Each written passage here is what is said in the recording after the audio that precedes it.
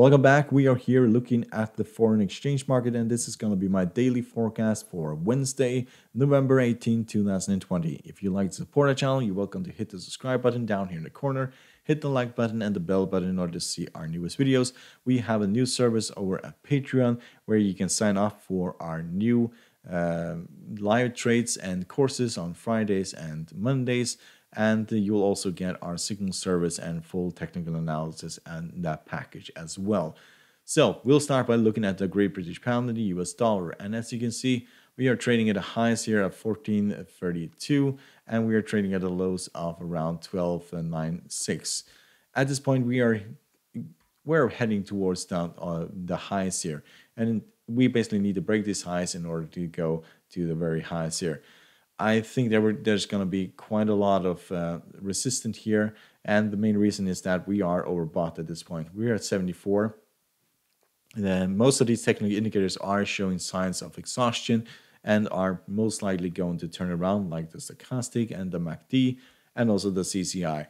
And we're also basically at the top of the Bollinger Band. So expect a pullback here when we get closer to this uh, resistance area if we get close to this resistance get there at all, will fall towards the 20 exponential moving average, which is at 13, 13 at this point, and probably all the way down to the 50 moving average, which is just, just above these very lows. So if you look at the US dollar yen, we can see we continue our fall towards the downside, which has been expected for a very long time. But at this point, I think that we're going to have a pullback. And the reason why I say that is because you can see the CCI not the RS stochastic, sorry, is about to turn around. And when that happens, we usually have a little bit of pullback towards the uh, 20 exponential moving average, or we just continue this decline towards this lower trend line. So we have been in this channel for several months, all the way back to uh, March. And this is basically a downward uh, trend line. And we have a top, we have a, we have a bottom, and we'll be just uh, zigzagging around this um, uh, this channel. So at this point, we are heading toward these lows. Uh, technical indicators for this for this currency pair are very negative. So so even though we have a little bit of pullback, that is not a sign that you buy. That is a sign that you technically can sell to the downside. So euro US dollar, we rallied quite significantly, found resistance here, which was the previous uh, highs here which is at 18, uh, 11, uh, 89. And at this point, we'll most likely go towards these um, this mid range here, just above the 50 moving average. If that breaks, we go all the way down here to 1164.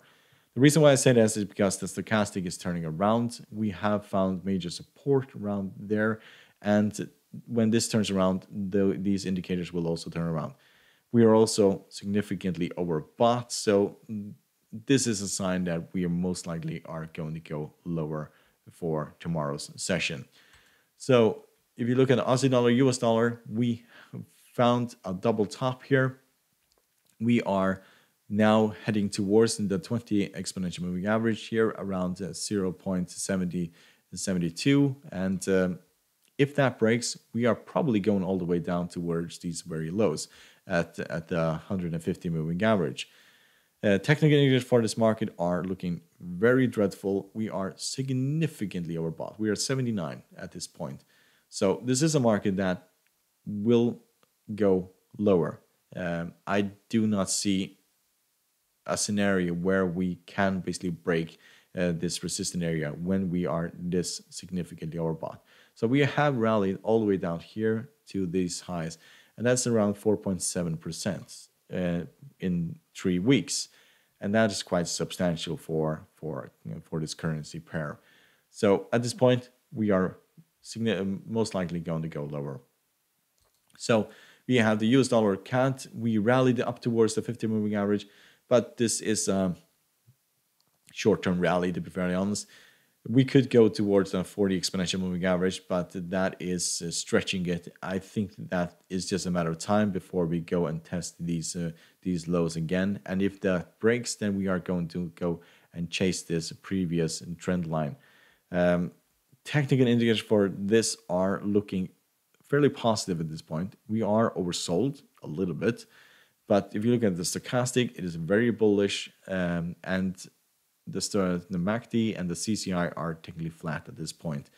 But this indicator, RSI, and the stochastic, those are indicating that we are probably going to rally a little bit before we are going lower. So hope you find this video helpful. You're welcome to subscribe by hitting the subscribe button down in the corner.